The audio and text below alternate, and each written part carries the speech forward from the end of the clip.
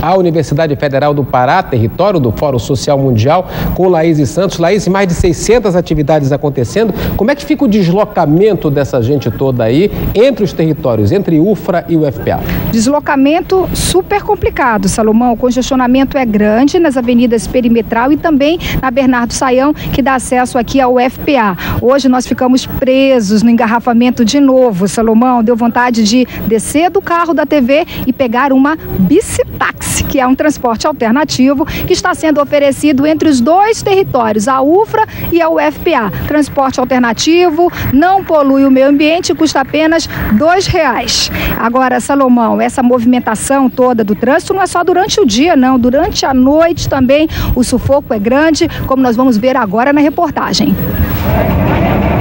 Se o ônibus para, o trânsito para junto, não há acostamento e é preciso esperar toda essa fila conseguir um lugar.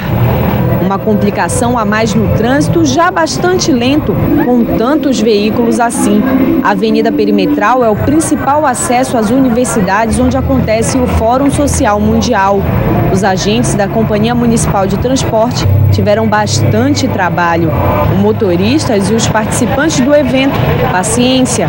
Nas paradas lotadas, muita reclamação. Estou mais de 45 minutos esperando. Esperar uma coisa melhor, transporte melhor, poucos ônibus. Perdi todas as atividades, porque demorou duas horas para chegar aqui do alojamento até a UFRA. E o ônibus acabou de passar, é lotado, assim, não dá para pegar.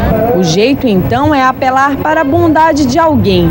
Outros procuraram apoio nas próprias pernas. Não tem condições de pegar, de pegar o transporte com esse trânsito louco que está.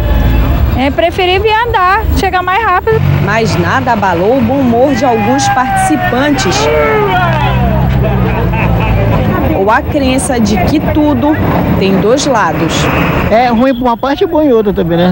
O senhor está faturando? É, quebrando galhozinho.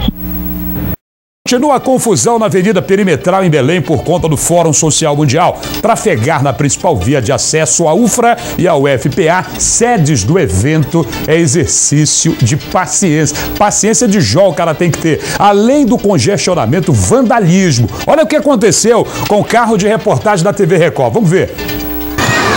O trânsito na Avenida Perimetral ficou congestionado. Os guardas da Companhia de Transportes de Belém tentavam organizar a passagem dos carros em frente ao portão de entrada da Universidade Federal Rural da Amazônia, a UFRA.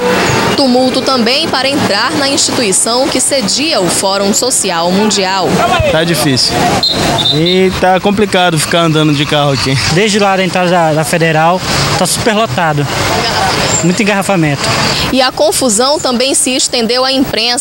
Nossa equipe havia saído para fazer uma matéria e quando nós retornamos para o carro, encontramos o veículo assim, com o vidro traseiro quebrado e a placa arrancada.